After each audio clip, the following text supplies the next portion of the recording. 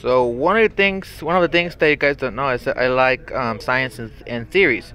So here's one which is a theory I really, really support. I'm gonna get hit for this.